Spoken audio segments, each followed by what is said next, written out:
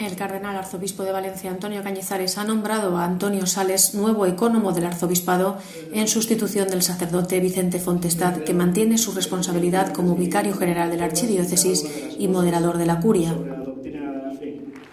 El relevo de ecónomo para la diócesis ha sido hecho público por el propio cardenal junto a los obispos auxiliares de Valencia tras el rezo del Angelus en el Salón del Trono del Palacio Arzobispal, donde Antonio Sales ha jurado el cargo tras la lectura del nombramiento por el canciller secretario del Arzobispado José Francisco Castelló.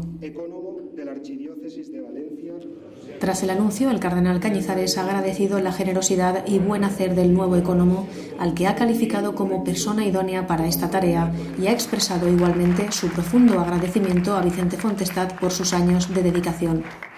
Gracias, gracias Antonio por tu generosidad. Gracias también por tu buen hacer y que a la hora de, liberar a don Vicente hemos visto que tú eres la persona idónea realmente para ocupar esta tarea. Que Dios ayude y como vas a decir también en la profesión de fe y el juramento, que me ayuden estos santos evangelios, que te ayuden. De esta manera, Antonio Sales asume esta nueva responsabilidad con alegría y gratitud al arzobispo por la confianza depositada en él y con el convencimiento de que los evangelios siempre nos ayudan. Con alegría, lógica alegría por la confianza. Don Antonio ha sido muy generoso en sus palabras eh, también con sabiendo que es un peso, que una, un cargo es una carga, que los cargos son cargas. Entonces, bueno, pues también un cierto miedo, pero, pero sabiendo que, que nos va a ayudar, que los evangelios nos ayudan.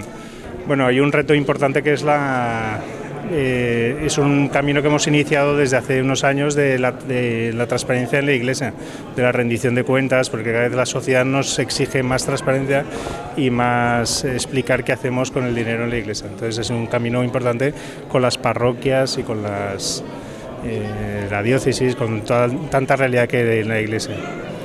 Yo siempre digo que la, transparencia nosotros tenemos que estar tranquilos porque hacemos mucho más de lo que decimos que hacemos.